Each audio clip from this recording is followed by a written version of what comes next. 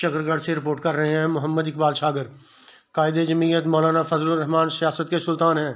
مولانا کی سیاست نے بلوچستان کے سیاسی منظرنامے کا رخ تبدیل کر دیا ہے۔ بلوچستان مستقبل میں جے یو آئی کا ہے۔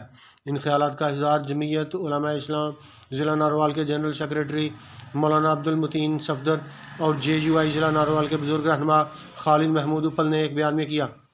انہوں نے جے یو آئی میں شامل ہونے والوں کو قافلہ حق میں شامل ہونے پر مبارکباد پیش کی۔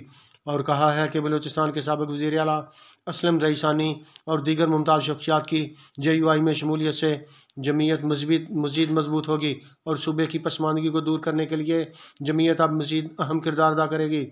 انہوں نے مزید کہا، وفاقی وزیر مواصلات مولانا مفتی اسد محمود نے بلوچستان کے پوسٹ مینوں کو موٹر سائیکل فراہم کر کے صوبے کی عوام کے دلوں کو جیتا ہے اور یہی جے یو آئی کا منشور ہے۔